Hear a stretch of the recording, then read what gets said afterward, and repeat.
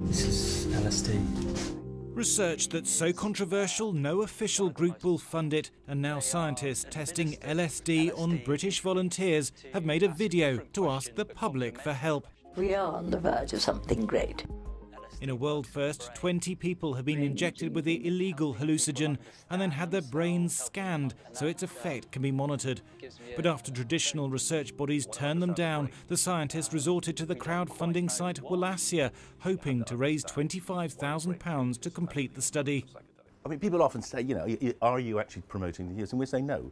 What we're doing is trying to use one of the most interesting drugs that's ever been, a drug which many people, such as Steve Jobs, said profoundly changed the way in which they thought about their lives.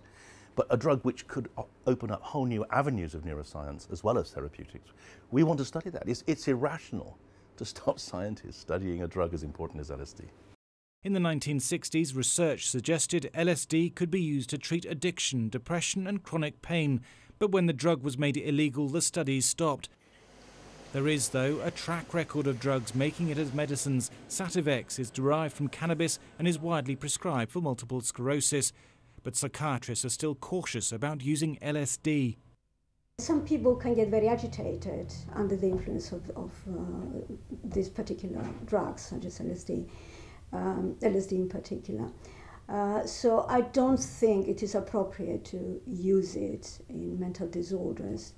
Researchers say three of the volunteers became anxious and temporarily paranoid, but even though some found the experience challenging, they reported being psychologically refreshed afterwards, and the scientists say that's worth exploring further. Thomas Moore, Sky News,